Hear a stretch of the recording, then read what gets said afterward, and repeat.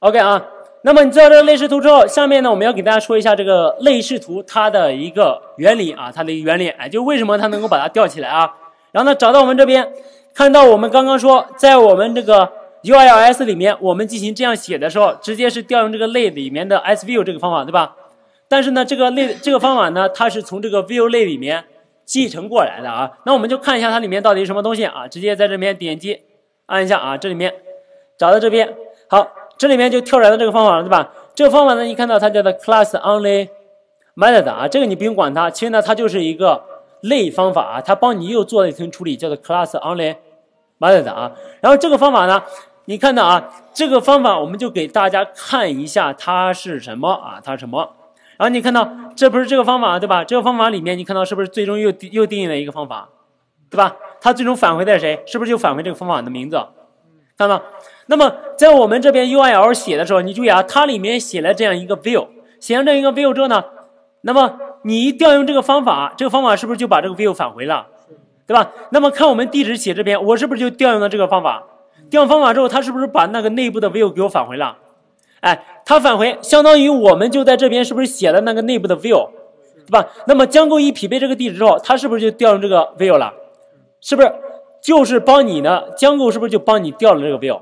对吧？调的时候，你看这个 view 的参数 request，然后呢 args 和 kwargs 啊，然后呢这前面的这一部分呢，你先别，你不用管它是干嘛的啊。这个类视图最关键的一步在哪呢？就在这个 self 点 dispatch 这个方法啊。这个方法呢，它是分发的一个方法啊，它翻译成这个中文呢就是分发。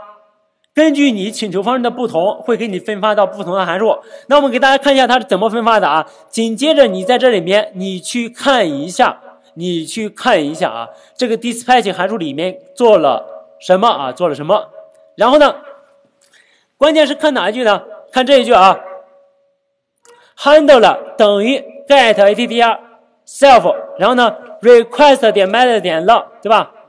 哎，这个是干嘛呢？看 get attr 方法是干嘛的？就是获取一个对象的某一个属性，对吧？获取一个对象某一个属性啊。那么它在这里面要获取对象哪一个属性呢？写在第二个参数里面，写的是谁呢？是不是请求方式给你转化为一个小写，对吧？如果你是如果你是这个 get 请求方式过来的时候，我是不是就我是不是这里面是不是就获取这个 self 对象的 get 这个属性，对吧？如果你是 pos 方式的时候，我是不是就获取这个 pos 这个属性？对吧？所以呢，在这边，那我们我们在我们的类里面呢，我们写了这个写了这个 get 的话啊，你在这个 user views 里面，你写了这个 get 的话，它 get attr 是不是把这 get 拿到了？对吧？拿到了啊。那么这就是它最关键的一步啊，就是呢，根据你这个请求方式的不同啊，帮你做不同的处理。那么这一步呢，我们还还到那个函数里面去啊，还到函数里面去，哎，找到下面这个 dispatch 啊。它最终呢是根据不同的请求方式去找这个对象的对应的属性。那么这属性呢，在我们这里面定义的就是一个又一个方法，是不是拿到这个方法了，对吧？拿到方法之后，最后做什么？是不是调了一下，对吧？哎，调了一下啊，request 点 args 点 k w i g s。OK，那么这里面呢，其实呢就是类视图的一个原理，它就可以根据你这个不同的请求方式呢，去调用这个类里面不同的。